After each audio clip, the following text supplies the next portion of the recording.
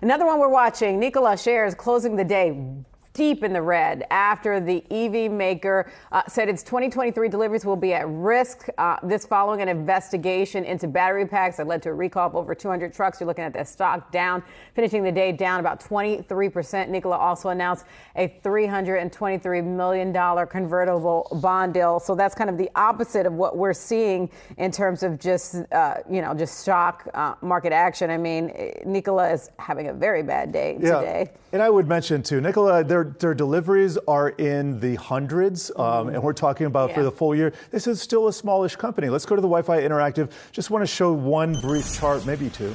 Uh, we, this is over the last three months, and there was huge short interest when we saw this rise to above $3 a share. You can still see they're more than 99% up. That means they've doubled over the three months. But let's take a look at the year to date.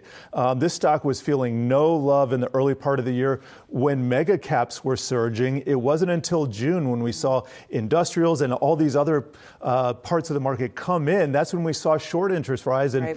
then we saw that bubble pop. So it's just kind of more of the same for this very small market cap uh, company, Diane. Yeah, yeah, indeed, and you know, definitely not helpful. Though, yes, it's not a lot of vehicles, but that's that's they have to deliver yes. on that amount, and they're not.